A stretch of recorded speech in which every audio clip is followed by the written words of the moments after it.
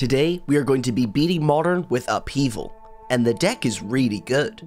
Throughout this video, you will watch me play against meta modern decks with this list. The two main ways we will make a lot of mana is with Astral Cornucopia and Everflowing Chalice, but with a unique twist. We will be paying 0 mana for both of these spells. Both Surge Node and Core Tapper will be used to put charge counters onto these artifacts, so quickly on early turns we can start tapping them for more than 2 mana. To surround this strategy, we have Emry, Urza, and Karn to support our game plan and help work towards an upheaval. We also have Chalice of the Void, which I should know also uses charge counters, and Urza Saga to help steal wins. If you enjoy me playing decks like this, then don't forget to hit that subscribe button to show me that you want more videos like this. Start off the first round, we were on the play, and I decided to keep a really risky hand just for the memes that we had upheaval in it. Now, it wouldn't be a normal video if I didn't lose to a turn 1 Ragavan from the opponent so that people could rush to the comments to complain about Modern Horizons 2. We ended up losing game 1 just because of a scammed Fury, because this game wasn't very entertaining I'm just going to skip through it. As this video is here to showcase the power of this deck and Upheaval, the reasons why I won both games 2 and games 3 is because of Urza's Saga. The opponent was playing a discard deck, and would you know that the Urza Saga is good against discard and we just attacked them with constructs. So let's move on to the next round where we actually cast Upheaval. Starting the next round, we're on the play, and while this looks like a mulligan, it's actually a keep. Not only do we have Surge Node, but we have Astral Cornucopia, which we can use the Surge Node to pump, which is technically a land. We also have Emry, which will be insanely cheap because we're going to be putting artifacts onto the table quickly. We start the game by putting our combo on the table and ship it back to the opponent. They start off with an untapped breeding pool and cycle a striped Riverwinder, showing that they're on living end and clearly digging for either a black card for grief or a grief for their black card. Top decking a Saga was great, we can play that, use Surge Node to put a counter on our Cornucopia, and then play our Core Tapper, setting up for a lot of mana next turn.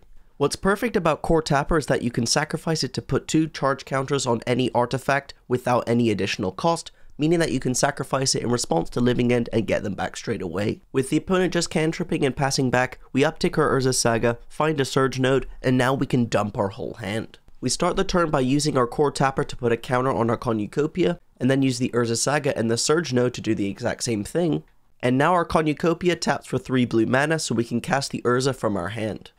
As Urza lets us tap artifacts for 1 blue mana, we can use the Construct to cast the Surge Node and then tap the Surge Node to cast the Emry. And like a beast, if you did not notice, Emry milled two creatures into the graveyard. We now have a Core Tapper and a Thought Monitor. So if my opponent fires off a Living End here, we can sack our Core Tapper in response and get three creatures back on the table. I don't think my opponent knows what's about to happen to them. We sack the core tapper, take up our cornucopia to 5 counters, and then get back our creatures. What's even more insane is that Thought Monitor found Chalice of the Void. Now, Living End does play Force of Negation, so I'm about to show you a very cool play to help us play around Force of Negation, guaranteed. We found an Everflowing Chalice off the top, we don't care about an Urza construct, so let's float a mana with Urza Saga and get a Tormod's Crypt in case the opponent does Living End again. Now, Force of Negation is 3 CMC, but what I'm going to do is play Chalice of the Void on 0, and as you know, Chalice of the Void cares about charge counters, so now we're going to tick Chalice of the Void up to 3 charge counters. Core Tapper is really strong. And now, with a Chalice of the Void on 3, all we gotta do is pump up that mana and cast Upheaval. It goes onto the stack, and it resolves. With 4 mana floating and loads of artifacts in hand, we can actually get this Thought Monitor down into play and leave the opponent with no lands. The opponent concedes and we move on to sideboarding. To go into boarding, I just take out two Mishra's Baubles for two Metallic Rebukes. There is a good argument to bring in the fourth Chalice of the Void, but I was just thinking about Karn.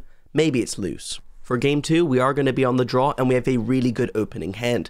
Any hand with a 0 drop Everflowing Chalice and a Core Tapper, you almost have to keep because it generates so much mana, and to be even more of a plus, we have castable creatures alongside them. The game starts off really slow because it's living end, but something interesting is that they weren't cycling cards on my end step.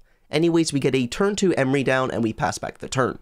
Now to my surprise again, the living end player doesn't cycle a creature again, so we have to assume that they have counters and interaction up because they would not keep a hand with no cyclable creatures for no reason. Anyways, the opponent passes back again, we find an Emry and we don't have a second blue source. Here I decide to develop my mana, so I cast a Core Tapper, use it to sacrifice onto the Everflowing Chalice, and now my Everflowing Chalice taps for 2 mana, we can recast the Core Tapper. Then, I pass back the turn and yet again my opponent does not cycle a creature, so almost certainly they have Force of Negation, right? Because I've only cast creatures when they've had the mana up for Force of Negation? I'm not too sure though. On their turn, they just shock in a Steam Vent and pass back, and we don't draw another blue source. So what I'm going to do here is start with Core Tapper onto the Everflowing Chalice, and the opponent cycles a creature in response and then lets the trigger resolve. Then we can do something really cool here, we can multi-kick the Everflowing Chalice in the graveyard and then cast the Thought Monitor from our hand. It resolves, so we gotta pass the turn back.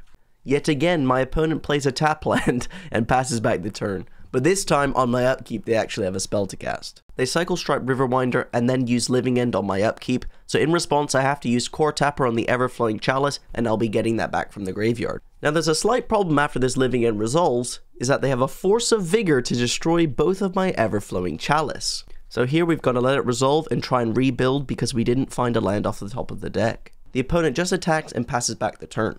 While we don't draw a land, we drew a Cornucopia, which means we can finally use Core Tapper to generate colored mana. And somehow the opponent still doesn't have any interaction to what I play, so I dump to the board. I pass back the turn, the opponent doesn't really do anything but attack, which I'll take the trade with the Stripe Riverwinder. And now that we can untap with this amount of mana, we can wreak some havoc. I ended up deciding not to go for the upheaval plan, I just wanted to set up a way to block this Curator of Mysteries and then go for it next turn with a Chalice of the Void. On their turn, all they do is play another Curator of Mysteries and say go. And now we can use the same Chalice of the Void trick from game 1 to stop them from casting Force of Negation and use Upheaval to win the game again. Going to the next round, we're on the play but have to mulligan a clunky 7 and keep a very nice 6. Like I said, any hand that generates mana with a core tapper and an everflowing chalice is an instant keep. We bottom the chalice because it's strictly worse than Cornucopia and we start off with the node and the Cornucopia. The opponent then just plays a Spire Bluff Canal on their turn, showing that they're either Murktide or Living End. As we found a Cornucopia off the top, what we can do is use our node to pump the first Cornucopia, then use that 2 mana to play the core tapper, and then play the other Cornucopia to put that on the table. Now the opponent does have an Unholy Heat on the end step to try and kill the core tapper, but we can just sacrifice it in response. Now I put the two charge counters on the naked Cornucopia, and that's because I'm afraid of Archmage's Charm. Don't forget, that can steal our zero drop artifacts. Now the opponent just played a Canal and passed back, so we have to be wary of a card like Counterspell, so all I'm going to do is pump one of my Cornucopias and ship the turn back. They do cantrip on our end step, but the thing that I'm focusing on is making constructs that can bash in for a lot of damage because the opponent isn't pressuring me, so I'm meant to pressure them. They do nothing on their turn, so we make a construct on their end step, they fetch on our upkeep and we make a construct in our main phase and get a Tormod's Crypt to play around a Murktide. We then cast another node. Then I go to combat, bash in, and the opponent Archmage's Charms in combat. As I'm going to be starting to slam bombs, I need to be scared of things like Murktide Regent as well as Unholy Heat, so I'm just going to use the Tormod's Crypt and pass back and pray that these spells resolve. Now, the opponent just completely puts their hand face up when they Lightning Bolt and Unholy Heat the Construct, attack in and play a tap land, so that means that they must have something like Spell Pierce, which makes their hand really face up and makes it really easy to play around, especially when we have a creature to cast. So I start off the turn with an Urza, and it resolves. Now we can use some mana shenanigans to play the Thought Monitor, draw cards, play more artifacts, eventually cast the Karn playing around Spell Pierce, and I decide to get the Chalice of Void just to eat the Spell Pierce out of their hand, but they don't end up having it, meaning we get a Chalice of 1 on the table. And from this spot, the opponent just concedes. Going into boarding, I bring in 2 Metallic Rebuke and 2 Dismember for 4 Emry, as Emry is weak to things like Mystical Dispute, Lightning Bolt, and Unholy Heat, all cards we're expecting them to have in games too.